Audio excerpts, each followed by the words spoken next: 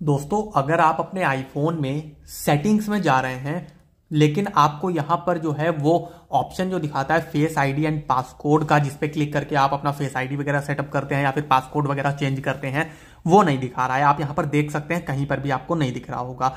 तो इस प्रॉब्लम को आप कैसे फिक्स करेंगे अगर आपके भी फ़ोन में यही प्रॉब्लम आ रही है? इसके लिए आपको क्या करना है, सबसे पहले तो आप अपने आईफोन की सेटिंग्स ही ओपन कर लेंगे। सेटिंग्स ओपन करते ही आपको इस टाइप का इंटरफेस यहाँ पर मिलेगा। आपको क्लिक करना है स्क्रीन टाइम पर। स्क्रीन टाइम पे क्लिक करने के बाद करिएगा नीचे की ओर स्क्रॉल तो आपको एक ऑप्शन दिखाएगा कंटेंट एंड प्राइवेसी रिस्ट्रिक्शंस का। आप इस पर क्लिक करिएगा, उस पर क्लिक करते ही फिर से नया इंटरफेस मिलेगा। अब यहाँ पर आप करिएगा नीचे की ओर स्क्रॉल।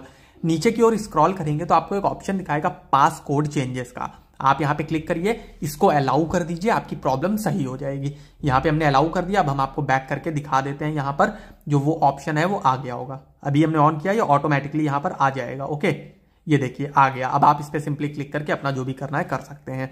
अगर वीडियो से हेल्प हुई हो तो वीडियो को कर दीजिए लाइक चैनल को कर लीजिए सब्सक्राइब एंड बेल आइकन को प्रेस ऐसे ही और भी वीडियोस देखने के लिए।